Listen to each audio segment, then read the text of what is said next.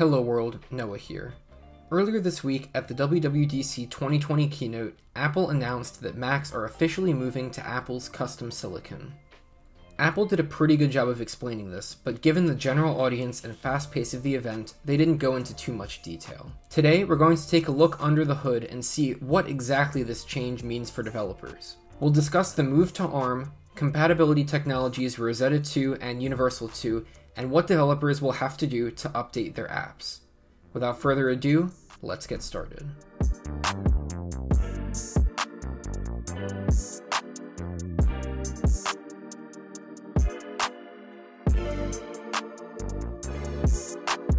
Apple Silicon is based on the ARM architecture, which marks a shift from Intel's x86 architecture.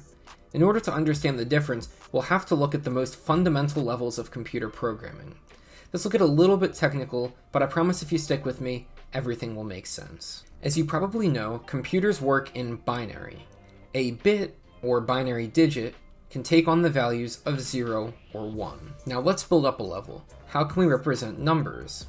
Our everyday numbers are decimal or base 10 numbers, which means that we have 10 digits, 0 through 9, and each place value is a power of 10. For example, the number 123 is actually 123, or 1 times 10 squared plus 2 times 10 to the first plus 3 times 10 to the 0.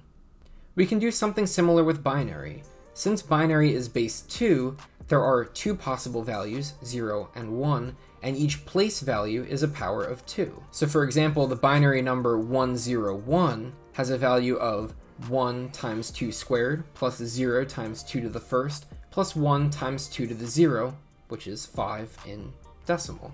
If we have enough bits, we can represent arbitrarily large numbers, and we can use a trick to also represent negative numbers. Now that we can represent numbers in binary, let's try and design a simple computer.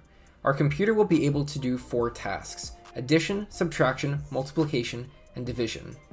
Additionally, we'll give it three memory slots that we can read and modify. You can think of variables from computer science. Now, how exactly do we tell the computer what we want it to do? Well, we communicate with computers using binary, and we know how to represent numbers in binary, so we can assign a number to each of our commands and memory slots. So let's say that I put the value 4 into memory slot 0 and 6 into memory slot 1, and I want to write a program that adds the contents of memory slots 0 and 1 and stores the result into memory slot 2. Well, let's first write this in English. We can write add 0, 1, 2, which means precisely what we just said. Add the contents of memory banks 0 and 1, and store the result to memory slot 2. So we know that add has ID 0, so we'll translate it into binary as 0, 0. I'm using two zeros here because there are four possible operations, which means that we need two bits to represent those four possible operations. Next, we'll translate 0 to 0, 0, 1 to 0, 1, and 2 to 1, 0 and thus our command is 00000110, which we can write in this more compact form without any spaces.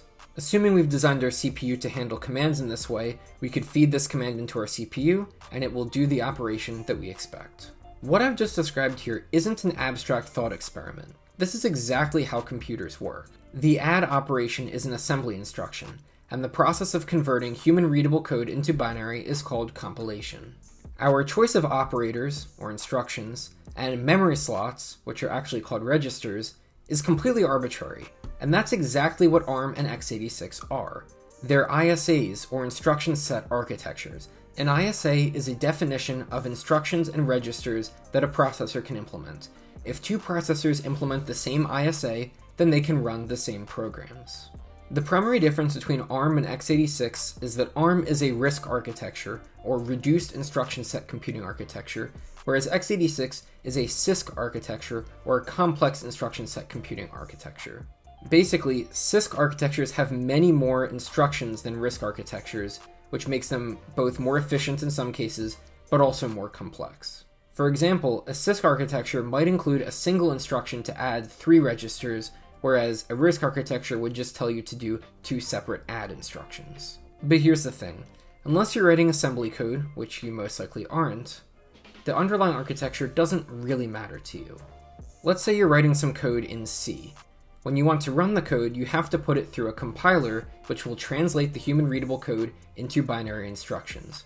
But which binary instructions? Well, if you put the code through an ARM compiler, you'll get ARM instructions. And if you put the code through an x86 compiler, you'll get x86 instructions. So if you're using C, or any language above assembly, the underlying architecture doesn't matter to you. There is one exception though. When you build an app or game or website, you don't start from scratch. You build on top of a framework that someone else provides for you. In the case of native macOS apps, two such frameworks are AppKit and SwiftUI. Now, if AppKit and SwiftUI are only compiled for x86, you won't be able to use them on ARM, but if they're compiled for both platforms, you'll be able to use them on both platforms. Of course, since Apple makes AppKit and SwiftUI, this won't be a problem, but we'll get back to this later. In order to help make the transition as seamless as possible, Apple has reintroduced two compatibility technologies, Rosetta 2 and Universal 2.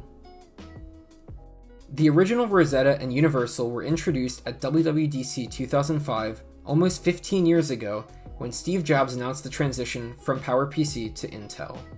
Rosetta 2 translates Intel based programs so that they can run on ARM. The translation isn't perfect, but it's definitely good enough to hold users over until developers update their apps. Rosetta 2 translation happens the first time an Intel based app is launched, and the translated binary is then used for every subsequent launch. Rosetta 2 also supports just in time or JIT compilers. JIT compilers dynamically compile and execute code. For example, a browser can use a JIT compiler to compile and execute JavaScript code, which is usually faster than interpreting it. Unfortunately, Rosetta 2 doesn't support kernel extensions or virtual machine programs like VMware Fusion or Parallels Desktop. These programs would have to be rewritten to be ARM compatible, and it's not clear if they'd still be able to run Windows or other x86 based operating systems. Universal 2 is much more straightforward. Mac apps are basically glorified folders. If you right click on a Mac app and choose Show Package Contents, you can see the contents of the app. If you then go to Contents and then Mac OS, you can see the actual executable that's run when you open the app. A Universal 2 app contains an ARM executable and an x86 executable, and macOS will run the correct executable depending on the device's processor architecture. So now that we understand what the switch to ARM really means, let's talk about what developers have to do to update their apps. Thanks to Rosetta 2, developers don't actually have to do anything to get their apps to run on an ARM processor.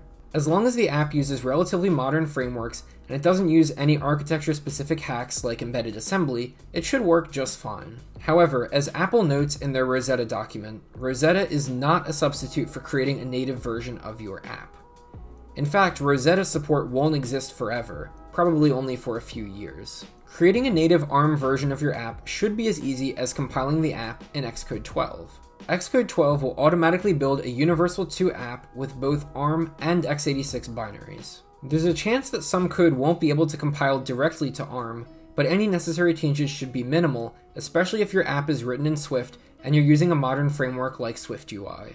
If you want to test this out today, you can download the Xcode 12 for macOS Universal Apps beta from the Apple Developer website. You won't be able to test your app on an ARM device unless you can get your hands on the Developer Transition Kit, but you can at least see if your code will compile. There's also a section of the Apple developer documentation dedicated to Apple Silicon that goes in depth about the changes you'll have to make to your app. The good news is that the changes are very few and pretty specific, so the switch should be seamless for most developers.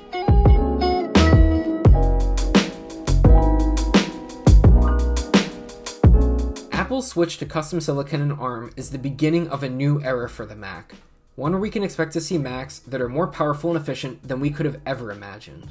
As a consumer, I'm incredibly excited to see the new Macs that Apple puts out over the next few years, and as a developer, I'm incredibly excited to build cool apps for these new Macs. Now that you understand what exactly the Switch means for developers, I hope you are too. Thanks for watching, and happy hacking.